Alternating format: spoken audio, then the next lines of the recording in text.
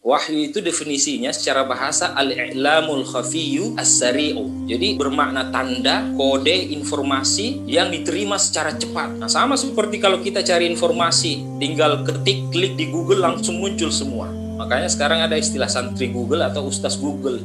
Karena begitu cepatnya kita dapat informasi, dapat wahyu langsung dari Tuhan. Jadi tidak ada alasan lagi untuk tidak tahu sekarang memang tafsir komunikasi. Media-media platform yang sekarang kita banyak gunakan ini Facebook, Instagram, uh, TikTok, ini sebenarnya inspirasinya dari teori komunikasi. Mengapa mesti ada like, mengapa mesti ada share, mengapa mesti ada subscribe, mengapa mesti ada follow? Karena supaya ada komunikasi dua arah ada istimroriyah, ada continuity. Makanya di sini ada komunikan pesan, media, kemudian ada feedback.